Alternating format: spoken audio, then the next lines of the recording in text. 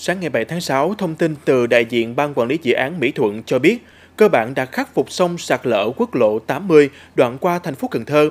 Đoạn sạt lở hiện đã được gia cố tạm, hoạt động giao thông tại đây diễn ra hai chiều với một làn đường. Các phương tiện qua đoạn đường đang bị sạt lở, chạy chậm, nhường đường cho nhau để thể hiện ý thức tốt, trách nhiệm khi tham gia giao thông. Dự kiến thì đầu tuần sau, tại vị trí sạt lở, sẽ cho các phương tiện lưu thông tạm trên hai làn đường. Đồng thời, việc khắc phục hoàn trả lại mặt đường đoạn này sẽ được thực hiện sau khi được sự chấp thuận của ngành chức năng.